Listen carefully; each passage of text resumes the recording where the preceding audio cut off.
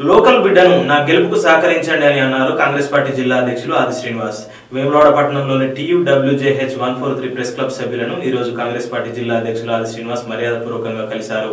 రానున్న ఎన్నికల్లో కాంగ్రెస్ పార్టీ ఎమ్మెల్యేగా పోటీ చేస్తున్న తన గెలుపుకు సహకరించాలని ఈ సందర్భంగా జర్నలిస్టులను ఆది శ్రీనివాస్ కోరారు. ఈ సందర్భంగా ప్రెస్ క్లబ్ సభ్యులు శాల్వాతో ఆది శ్రీనివాస్ సత్కరించారు శ్రీనివాస్ గౌడ్ గారు రాజేష్ గారు ఈ కార్యక్రమంలో పాల్పంచుకున్నటువంటి ప్రెస్ క్లబ్లో ఉన్న ప్రతి ఒక్క మిత్రులు కూడా నా ఉదయపూర్వక నమస్కారం ప్రధానంగా తెలియజేస్తా ఉన్నా. పాత్రికేయ మిత్రులు దేశంలో ఫోర్త్ స్టేట్గా భావించేటువంటి మేధా సంపత్తికి సంబంధించినటువంటి దానిలో వర్గంగా ఈ దేశాన్ని పరిపాలిస్తున్నటువంటి సందర్భంలో నాలుగు భాగాలు ఈ సమాజ శ్రేయస్సు కోసం పనిచేస్తుందని చెప్పినటువంటి భాగం ప్రధాన భాగం ప్రెస్లో పనిచేస్తున్నటువంటి మీరు కాబట్టి మీకు నేనేదో రాజకీయ ప్రసంగం చేసి రాజకీయ ప్రసంగంలాగా మాట్లాడేటువంటి అవసరం ఉందని నేను భావించట్లేదు. కాకపోతే రాబోతున్నటువంటి మరో వంద రోజుల్లో జరగబోతున్నటువంటి ఎన్నికల్లో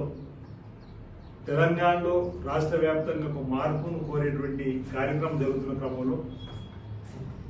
వేములవాడలో కూడా మార్పు కోసం కాంగ్రెస్ పార్టీ పక్షాన మీ ప్రజలు చైతన్యపరుస్తూ ముందుకు పోయేటువంటి పరిస్థితులలో ముందుగా మిమ్మల్ని ఒకసారి కలిసి మేము చేపట్టబోయేటువంటి కార్యక్రమాల్ని సజావుగా మరి ప్రజలందరికీ చేర్చే విధంగా ప్రయత్నం చేయడంతో పాటు మీ సంపూర్ణ సహకారము మద్దతు మాకు కాంగ్రెస్ పార్టీకి ఉండాలని చెప్పని కోరడానికి ప్రధానంగా ముందుగా మీ దగ్గరకు వచ్చిందని చెప్పని మాట ముందుగా తెలియదు నేను గత ముప్పై ముప్పై సీనియర్ జర్నలిస్టులుగా ఇక్కడ శ్రీరన్న అంటే అప్పుడు నేను ఎనభై తొమ్మిది విద్యాదశ రోజులు దేవేంద్ర సార్ కానీ ఉన్నప్పుడు తర్వాత ఎల్లారెడ్డి గారు చేరినప్పుడు కూడా రెండు రెండు దశాబ్దాలు. థర్టీ ఇయర్స్ ఇండస్ట్రీస్ అనుకుంటే థర్టీ ఇయర్స్ ఎందుకంటే మాట నేను ఎనభై ఏడులో నా విద్యార్థి దశ పూర్తి కాబట్టి అప్పటికి నేను విద్యార్థి దశలో జనరల్ సెక్రటరీ కార్యదర్శిగా ఐటీఐలో పనిచేసి ఆ తర్వాత ఎనభై ఏడులో మా గ్రామానికి వచ్చినప్పుడు గ్రామ కమిటీ కాంగ్రెస్ పార్టీ కార్యదర్శిగా ఎంపికైనప్పటి నుండి కూడా సమాజ సేవ చేయాలని చెప్పేటటువంటి ఒక ఆలోచనతోటి ప్రజలకు ప్రభుత్వం మధ్యలో వారిదల పనిచేసేటువంటి అవకాశం కోలీడర్గా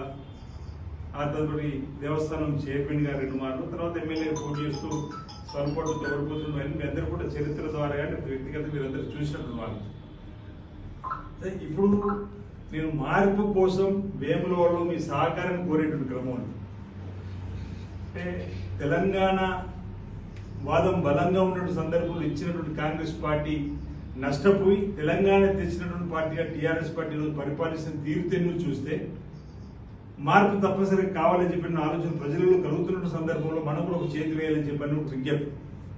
ఎందుకంటే ఆనాడు మనం విడిపోయిన రోజు అరవై వేల కోట్ల అప్పుతో ఉన్నటువంటి తెలంగాణ ఈరోజు రోజు నాలుగు లక్షల పై కోట్ల అప్పులు పోయినటువంటి సందర్భంలో ఇదే విధంగా ప్రభుత్వానికి మళ్ళీ అవకాశం ఇస్తే మరిన్ని అప్పులు చేస్తే మన భవిష్యత్ తరాలు మన పిల్లలకు సంబంధించినటువంటి వారికి అన్యాయం చేసిన వాళ్ళు అవుతామనేటువంటి భావన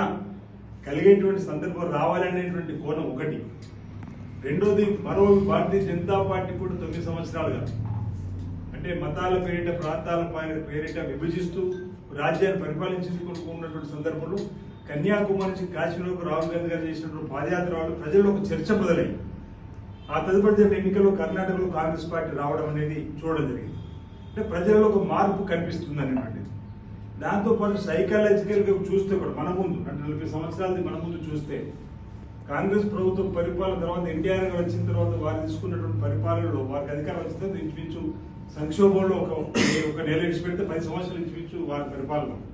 తర్వాత చంద్రబాబు నాయుడు గారు కూడా వారి పరిపాలన పది సంవత్సరాలు తదుపరి రాజశేఖర్ గారు వచ్చిన తర్వాత పది సంవత్సరాలు వారు మరణించిన తర్వాత కిరణ్ కుమార్ రెడ్డి ఉన్న రోజు ఉన్న వారి ద్వారా వచ్చిన ప్రభుత్వంగా పది సంవత్సరాలు తదుపరి ఈరోజు కేసీఆర్ కూడా పది సంవత్సరాలు. అంటే సైకాలజికల్గా చూసిన ప్రతి పది సంవత్సరాలకు ఒకసారి మార్పు అనేది మన రాష్ట్రంలో కనిపిస్తుంది. దేశంలో కూడా ఇందిరాగాంధీ ప్రభుత్వం తర్వాత జనతాదళ తీసుకుందాం తర్వాత పి నరసింహ తీసుకుందాం మన తర్వాత మన్మోహన్ సింగ్ తీసుకుందాం మోడీ గారిని ఏ చూసినప్పుడు పది సంవత్సరాలకు ఒకసారి మార్పును ప్రజలు కోరుతున్న క్రమంలో రాబోతున్న ఎన్నికలు. మీరందరూ కూడా పెద్ద మనసుతోటి ఆలోచన చేసి ఎన్నికల్లో మద్దతును లేదా ఈ మా ఈ ఎన్నికల్లో ప్రజలను చైతన్యపరిచేటువంటి క్రమంలో మీ సహకారం ఉండాలనేటువంటి ఆలోచన. ఈరోజు ఇక్కడ ఉన్నటువంటి మీరందరూ మీరందరూ కూడా ఒక్కొక్కరు ఒక వెయ్యి మందితో సమానంగానే భావిస్తున్నారు. ఒక్కొక్కరు ఒక వెయ్యి మంది ఎందుకంటే సమాజంలో ఉన్నటువంటి రుగ్మతలు రూపుమాపడానికి సమాజంలో పెరిగిపోతున్నటువంటి సాంఘిక సంఘ వ్యతిరేక విధానాల పట్ల కానీ ఎప్పటికప్పుడు ప్రజలు చైతన్య పరిచయంలో ముందుండేటువంటి భాగంలో మీరున్నారు. మేము కూడా ఆయా కార్యక్రమం చేసాం సరే మేము ప్రభుత్వానికి వ్యతిరేకంగా ఆందోళన చేసినా మీరు ఇచ్చేటువంటి ప్రజలకు దరిచేరే కార్యక్రమం చేస్తున్నారు. ప్రభుత్వం వచ్చే కార్యక్రమాలు